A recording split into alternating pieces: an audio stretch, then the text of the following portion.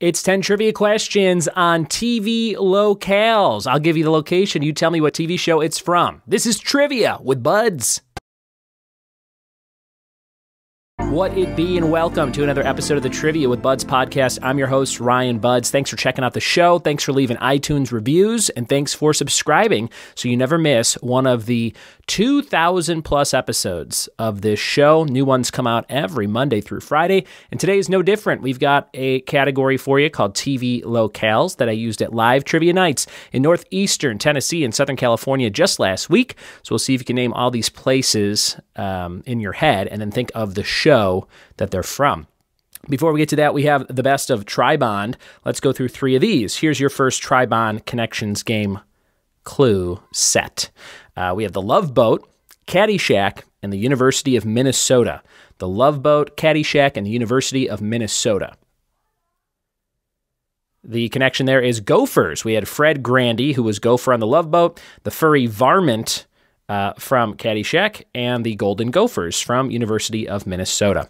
Your next one here: Star, Tornado, Laser. Star, Tornado, Laser.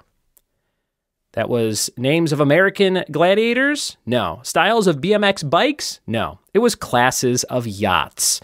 Classes of yachts. That's very specific. And the third one here Rail Splitter, Emancipation President, Sage of Springfield, those were all nicknames for Honest Abe Abraham Lincoln. And uh, we're all warmed up. We're ready to go. And we're diving into TV location trivia right about now. Here we go. All right, TV locales, you name the TV show from the location. Here's number one Bikini Bottom. Bikini Bottom.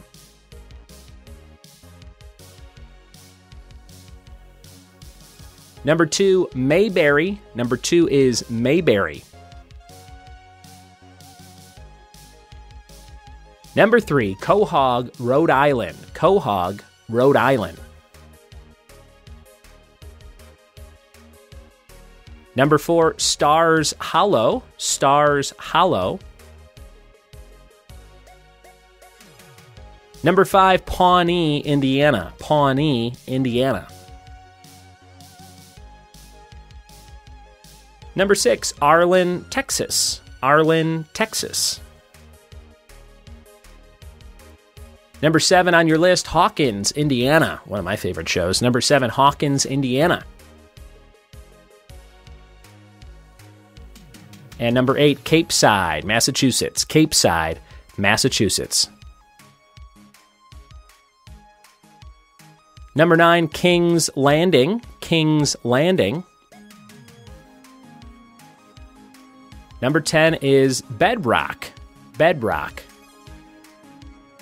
And the bonus for two points. On what animated sitcom would you find Stark's Pond? On what animated sitcom would you find Stark's Pond? Those are all your questions for TV locales. We'll be right back with the answers to those locations after this.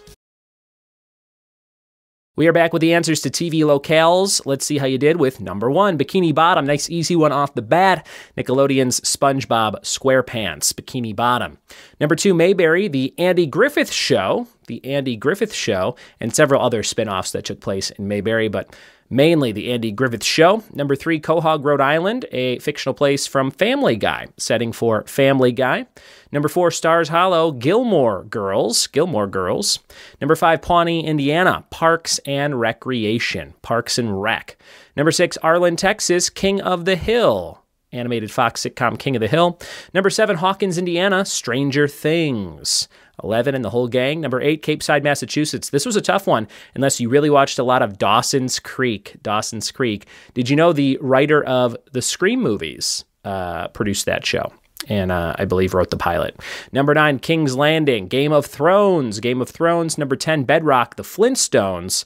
And the bonus for two points, Stark's Pond, is on the animated sitcom South Park. So there you go. If you really knew some South Park, you knew Stark's Pond from that show. Thanks for listening today, and uh, hope you had a great time answering some questions here. We do this every Monday through Friday, and your fact of the day today is that the moon is not actually made of cheese. That's right. A lot of people think it's made of cheese, but uh, I'm here to break down the myth. The moon, not made of cheese. Thanks for listening. Thanks for telling a friend, and we'll see you next time for more trivia with Budds. Cheers.